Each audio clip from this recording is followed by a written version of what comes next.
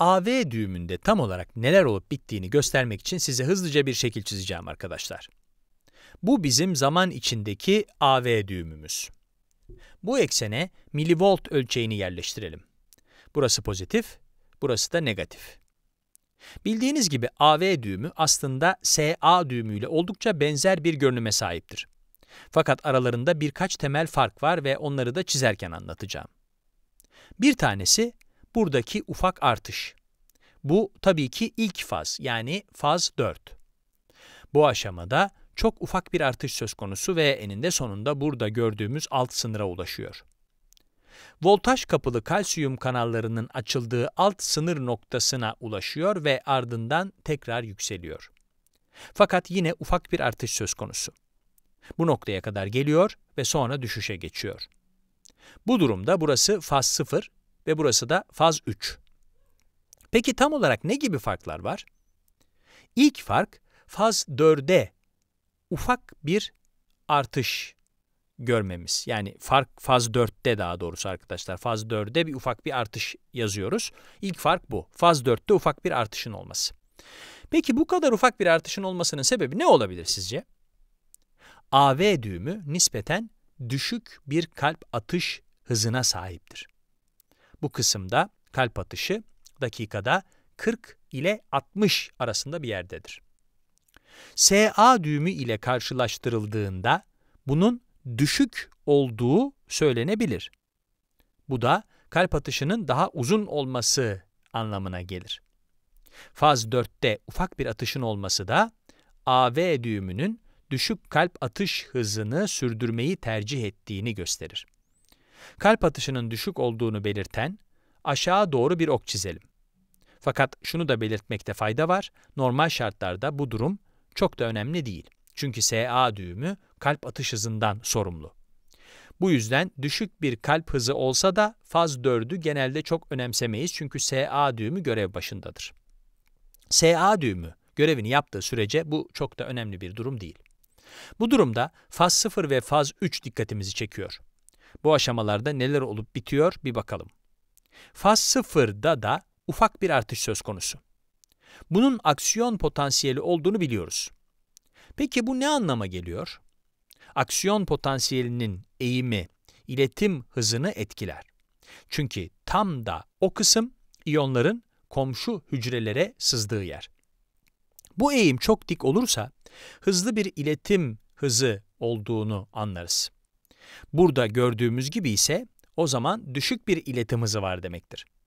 Bu yüzden bu aşamada düşük iletim hızı olduğunu söyleyebiliriz. İyonların komşu hücrelere geçmesi ve aksiyon potansiyellerini tetiklemesi biraz zaman alır. AV düğümü üzerinden hücreden hücreye geçiş çok yavaş olur. Bu yavaşlık ve düşük iletim hızı da daha önceden bahsettiğimiz AV düğümündeki gecikmeyi açıklar. Genelde bu gecikme 0,1 saniye civarındadır. Faz 0 çok ağır işlediği için bu durum kulakçıklar ve karıncıklar arasında gecikmeye sebep olur. Bu gecikme başlangıçta zaman kaybı gibi görünebilir ama aslında çok önemli bir işleve sahip. Bu gecikme sayesinde karıncıklar çok erken kasılmamış olur. İşte AV düğümündeki gecikme faz 0'da bu şekilde oluşur. Burada biraz yer açalım. Şimdi hücre açısından neler olup bittiğine bir bakalım. Şöyle bir hücremiz olduğunu varsayalım. Şu şekilde çizelim. Hücremiz görevini yerine getiriyor. Faz 0'da neler olup bittiğine bakalım. Şuraya yazalım. Faz 0. Evet, bakalım faz 0'da neler oluyor. Hücremizin bu voltaj kapılı kalsiyum kanalları var. Bu da aslında oldukça önemli. Önceki videolarda kalsiyum kanalları üzerine konuşmuştuk ve voltaj kapılı ve voltaj kapılı olmayanları üzerinde de konuşmuştuk. Hatırlarsanız faz 4'te kalsiyum iyonları normal kanallardan geliyordu. Fakat bunlar voltaj kapılı yani hızlıca açılır ama sonra hızlıca da kapanırlar. Bu yüzden bu voltaj kapılı kalsiyum kanalları faz 0 süresince kalsiyumun girişine izin verir. Yani kalsiyum hücre içine sel gibi akar. İşte membran potansiyelindeki artışın sebebi de budur. Bu sebeple membran potansiyeli arttıkça artar. Evet, kalsiyum içeri girer dedik. Bu hücreler ilginç bir şekilde üzerlerinde küçük reseptörler taşır. Tüm bunların nereye gideceğini tahmin ediyor olabilirsiniz. Bu reseptörler sempatik sinirden gelen bir nörotransmitter içindir. Yani sempatik sinirler aşağı gelir ve tıpkı SA düğümünde olduğu gibi AV düğümüne iner. Buraya yerleşirler ve norepinefrinlerini serbest bırakırlar. Norepinefrin de buraya gelir. Diğer tarafta da reseptörlerimiz var. İşte buradaki küçük reseptörlerimiz. Burada aynı zamanda sinirler de var. Daha önce de belirttiğim gibi hücrenin sanki iki farklı tarafıymış gibi çiziyorum ama bu benim çiziş şeklimden kaynaklanıyor. Gerçekte hücrenin böyle bir yapısı yok. Yani normalde hücrenin bir tarafı sempatik sinirlere, diğer tarafı da parasempatik sinirlere ayrılmış durumda değil. Fakat bu şekilde daha rahat algıladığım için ben böyle çiziyorum arkadaşlar. Tamam? Evet. Bu tarafta parasempatik sinirden gelen küçük bir sinyal var ve bu taraftan da başka bir sinyal geliyor. Bu nörotransmitterin adı asetilkolin. Asetilkolin. Sempatik sinir bu hücreye daha fazla kalsiyumun hızlıca içeriye girmesine izin vermesini söylüyor. Parasempatik sinir ise frene basıyor ve hayır, kalsiyumun bu kadar hızlı girmesine izin verme diyor. Yani bu ikisi böyle bir çekişme içinde. Yukarıdaki çizime geri dönelim. Faz 4 üzerinde durmamıza gerek yok. Daha önce de belirttiğim gibi kalp atış hızından sorumlu olan SA düğümü. Bu yüzden faz 4 ile ilgili çok da endişe etmemize gerek yok. İşlerin ilginçleşmeye başladığı nokta burası arkadaşlar. Sempatik sinirler galip gelirse o zaman burada çok hızlı bir artış olur ve sonra da bu şekilde bir düşüş olur. Eğer parasempatik sinirler galip gelirse de tam tersi olur. Daha yavaş bir artış olur çünkü belirli bir süre içinde daha az kalsiyum gelir. Sonra da böyle düşüşe geçer.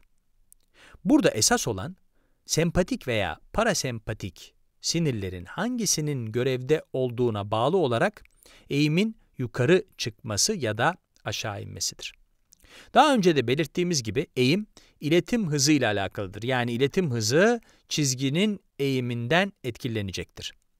O zaman yapacağımız şey gecikmenin süresini değiştirmektir. Peki bu nasıl mümkün olur?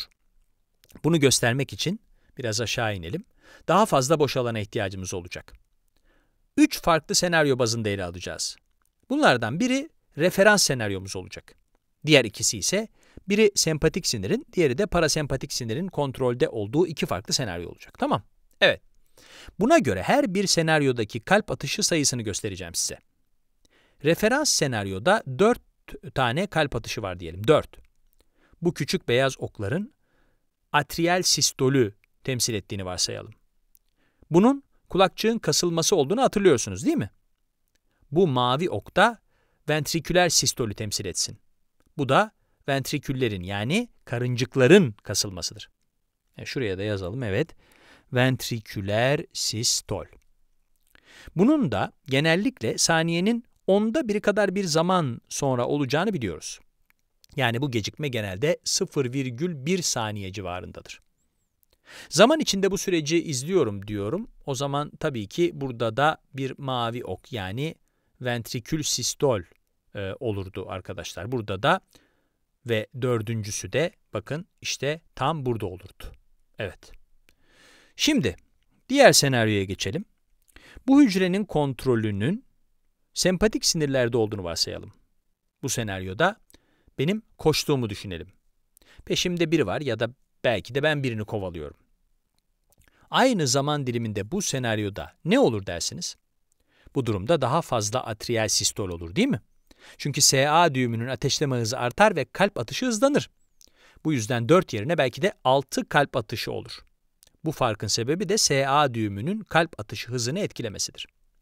Yeşil okla da ventrikül sistolleri gösterelim. Gördüğünüz gibi bu senaryoda ventrikül sistoller atriyal, atriyal sistollerden hemen sonra oluyor. Bu oldukça ilginç bir durum arkadaşlar çünkü daha az bir gecikmenin olduğuna işaret ediyor bu. Gecikme belki de 0,08 saniye olabilir. Yani 0,1 saniyeden biraz daha az. Son olarak hücrenin kontrolünün parasempatik sinirlerde olduğu üçüncü senaryoya bir bakalım. Burada tam tersi bir durum olur. Aynı zaman diliminde bu senaryo söz konusu olduğunda 3 kalp atışı olur. Ventriküllere bakalım. Onlar da daha uzun süreli bir gecikmeyle kasılırlar. Buradaki gecikme 0,1 saniye yerine belki 0,2 saniye yani 2 katı olabilir. Evet, ilk olarak SA düğümünün ateşleme hızının arttığını ve kalp atışı, kalp atış hızında değişiklik olduğunu ve ikinci bir değişiklik olarak da hücrenin sempatik veya parasempatik sinirlerin kontrolünde olmasına bağlı olarak AV düğümündeki gecikmede değişiklik olduğunu gördük. İşte bunlar sempatik ve parasempatik sinirler SA ve AV düğümlerini etkilediğinde karşılaşılan iki büyük değişikliktir.